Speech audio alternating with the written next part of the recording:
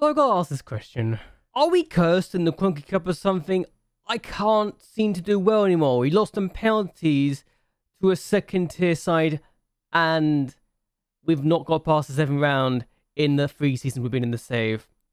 Am I just destined never to win this trophy? I wish I knew why we're doing so badly, but okay, it is what it is. Let's get on with the video. Hello, hello, hello. Welcome everyone to JLAB TV. I am Jed and this is Football Manager 2022. I'm journey with Charleroi. Today we're taking on Tottenham and we're hopefully going to be able to beat Tottenham despite how difficult this group has been so far.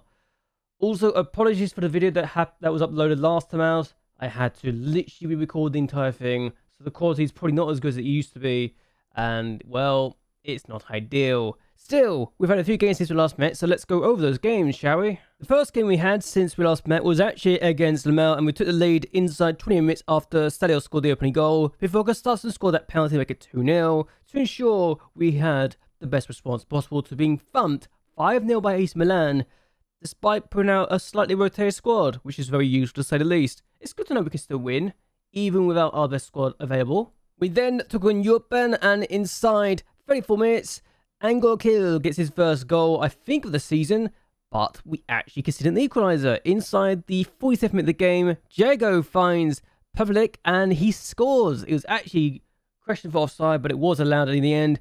But then we went behind inside 55 minutes, 56 minutes, and I couldn't believe that Huiko scores this goal.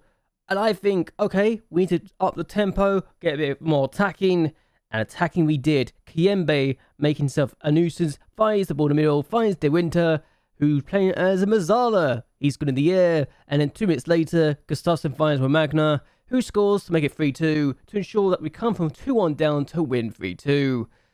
Wasn't ideal that we went down 2-1, but we then just came back and went more attacking and it worked wonders. So good to know we can absolutely bully a team if we needed to even if we should never consider those two goals in the first place. We then took on Tottenham in the Europa League and we took the lead after Ankel Gil scores the opening goal inside 54 minutes.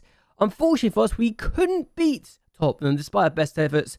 Reguilon places a more in the middle, finds Oxlade-Chamberlain of all people, and despite that, we got a point against Tottenham. So maybe Tottenham's not unrealistic to beat after all. Milan couldn't beat them, but we got a point.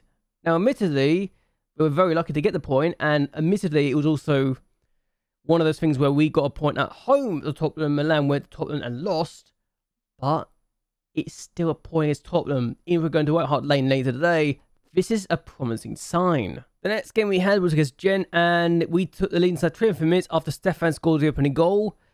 But Gent equalised not too long afterwards, actually, after Castro Montes plays this through. And I'm going to be honest with you, Keeper should do better there because Gent should not be able to score that, that sort of angle. But in so 57 minutes, they're 1 2 1 up after Okumu scores that goal. I thought it was offside, but it wasn't.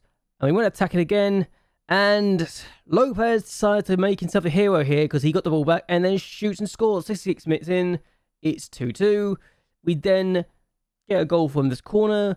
Not straight from the corner, but coming afterwards. Gustafsson plays in the middle, finds Delphi. Delphi scores. It's good. And then, 85 minutes in, we're 4 2 up. Kayembe making stuff a nuisance, finds Govia. Govia plays the cross, finds Delphi. It's easy, easy as you like. And 4 2 is the closest team in the, in the league to us. We're looking very strong in the league right now. We didn't have this game against Waasland-Beveren, where we lost some penalties to them. The less about this, the better. The last game we had was against Unis Galleries, and we took the lead inside 67 minutes in after a magnet scores from that free kick. Before 91 minutes in, we make it 2.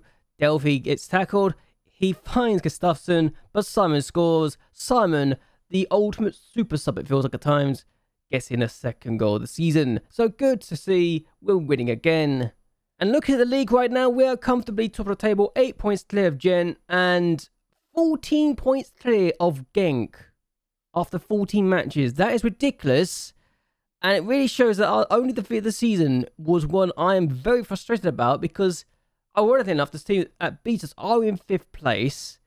15 points behind us, along with Standard Liège and Union Saint Club Bruges are down in ninth. Right now, 21 points behind us after 14 matches. Anderlecht, 12th place, even further down. Yeah, 22 points behind us. Two of the title favourites from last year that finished in the top four of us are struggling. Cercle Bruges, they're 26 points behind us and are trying to avoid relegation.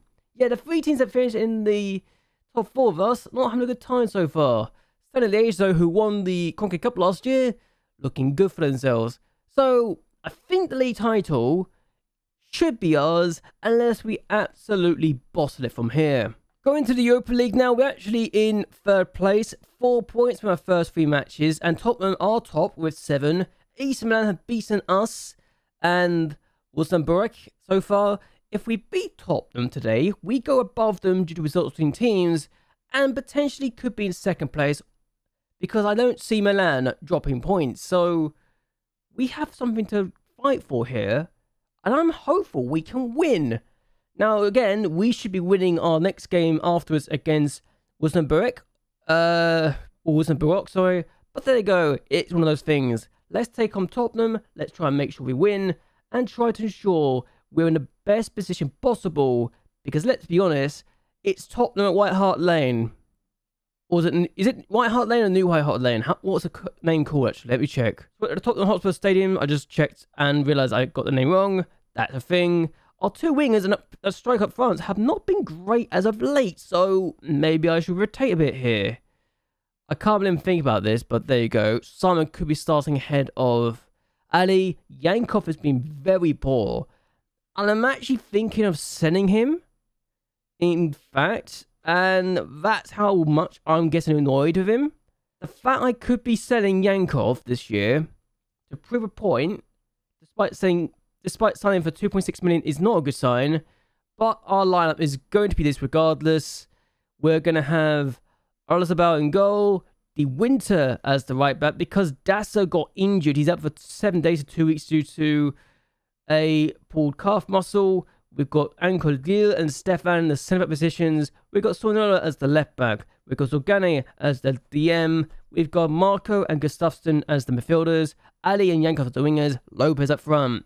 Despite the fact that the two wingers and striker have been very questionable late, despite the fact we're winning games left, right, and centre. Still, let's see how we do, and let's try and win this game, even if it's probably mission impossible.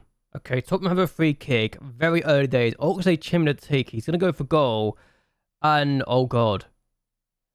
Kane had a chance there. Despite the fact we saved it, that was not ideal that Kane got there first. And Lopez could be...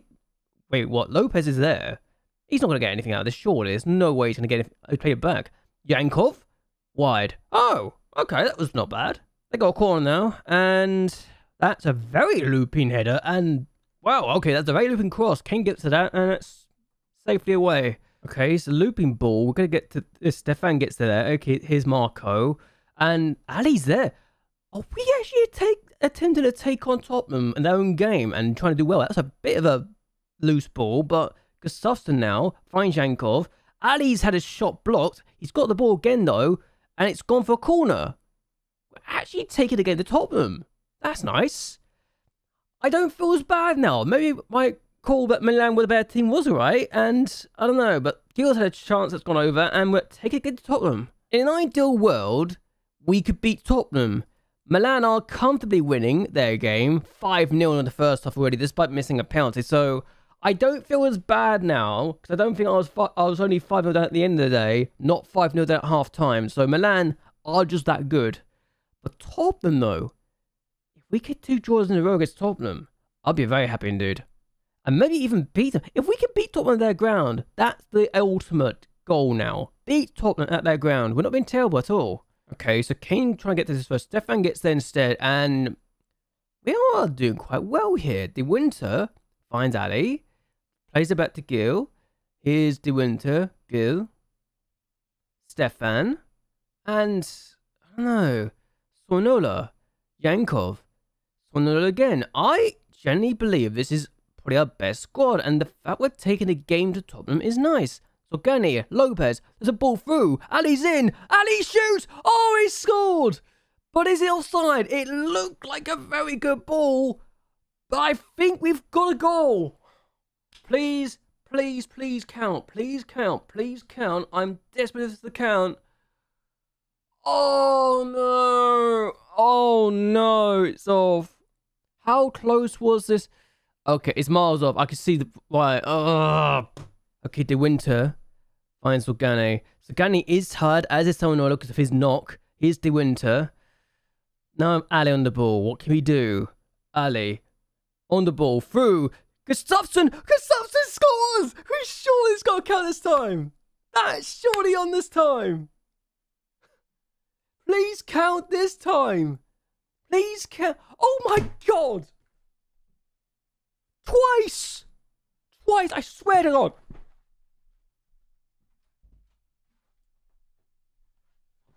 I swear to God! Free kick. Govey had to take it. He's gone for goal. It's over. We are taking the game to Tottenham. We are actually taking this game to Tottenham. I swear they score now. Cherry with the corner. No, you've got to be kidding me. Oh. Oh my god, why is it we had two goals ruled out for offside now we're going to get a penalty? I swear to god. Save this.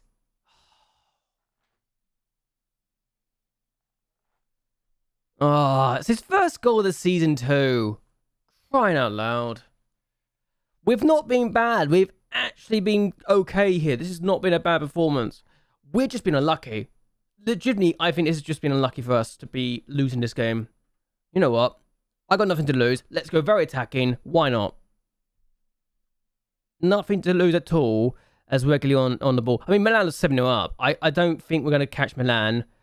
If we lose this game, we're out of competition anyway. We've got nothing to lose as Rodrigo now plays it across, and that's a very good block by Sonola we have been very unlucky to lose this game. And I just feel like we've been extremely unfortunate to be even losing this game. We should be winning this game. Legitimately, I think we should be winning this game. It's not my fault that the players messed up their passes. We've had them twice to rights. We've had two goals ruled out. Yes, they were offside both times, but even so. Oh. This hurts more. This hurts more than the Milan game because we were in this game. We were absolutely in this game and we deserved to win this game. I honestly think, I don't care about the XG. That's a lie. We were the better team. We were the better team in the second half. And that penalty was stupid. We did not need to give it away and we gave it away unnecessarily and we lost because of it. We should not have lost this game. I mean, we're out of the group now. We're not going to catch Milan. I'm not even going to bother going for this because I think Milan are actually going to beat Tottenham. And if they beat Tottenham, then they're out. So, yeah, we can't catch we can't catch Milan or Tottenham here. Oh my days, that that hurts. That actually hurts more than anything else. I'm gonna end this here though. I hope you guys have enjoyed yourselves. I hope you guys like and share this video and that you subscribe to the channel. It really does help me out a lot. Again, apologies for the video on Friday. It wasn't my best work, but hope you guys enjoy this one instead. But anyway, until next time, goodbye and well, good night.